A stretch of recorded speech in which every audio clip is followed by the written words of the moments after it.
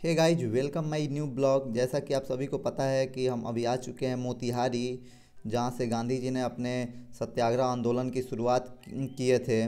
तो सबसे पहले हम पहुँचे हैं गांधी जी के ही संग्रहालय में, जो कि स्टेशन से थोड़ी ही दूर पर पड़ती है। नाम है गांधी संग्रहालय। तो अभी हम वहाँ आ चुके हैं और आगे देखिए, हम आप सब कुछ यहाँ का दिखा रहे हैं, म्यूज़ियम वगैरह सब कुछ कैसे क्या है।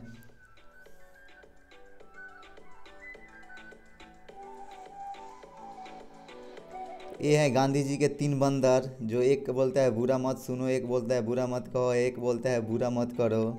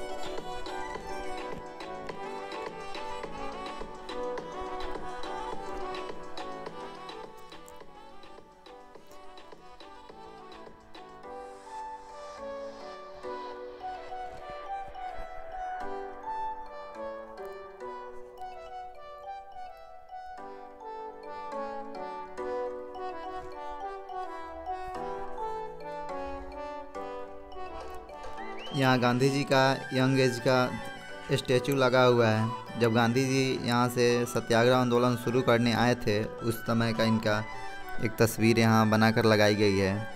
जो काफ़ी आकर्षक बनाता है इस सत्याग्रह पार्क को। प्यारा सा हिरण जो दोनों तरफ़ लगा हुआ है, इस पर अच्छा फ़ोटो क्लिक होता है।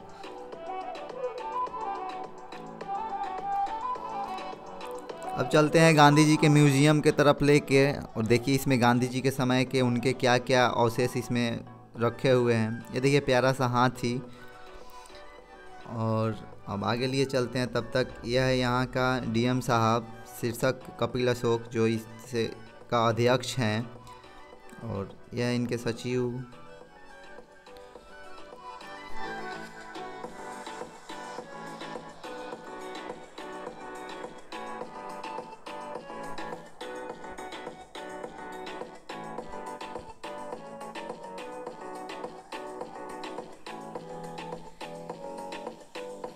ये रहा प्यारा सा म्यूज़ियम, गांधी संग्रहालय। इसमें बहुत सारा गांधी जी को यहाँ पे कैसे कौन सा चप्पल पहने थे क्या क्या पहने थे गांधी जी सब कुछ इसमें मिलेगा।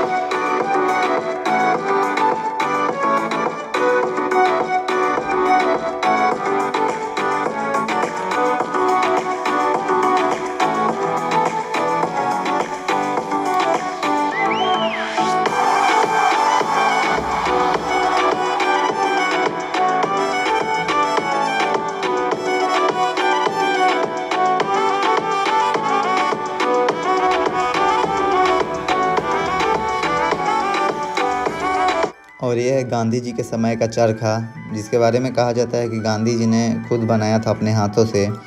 इसे यहाँ बहुत ही हिफाजत से रखा हुआ है।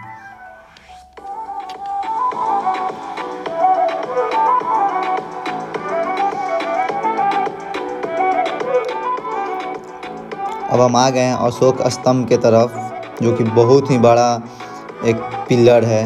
ये गांधी जी की तस्वीर लगा हुआ है। बहुत दूर से यह दिख जाता है। इस पर बहुत सारे लोग, इस पर चढ़ना तो नहीं चाहिए। बट चंपा का फूल, जो यहाँ का प्रसिद्ध था डस्टबिन देखिए कितना प्यारा सा है।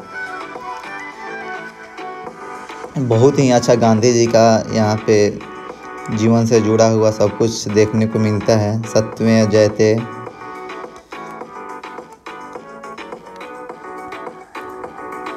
गांधी जी ने चंपारण के लिए बहुत कुछ किया। उन्होंने यहाँ बहुत अब संघर्ष भरा जीवन गुजारा।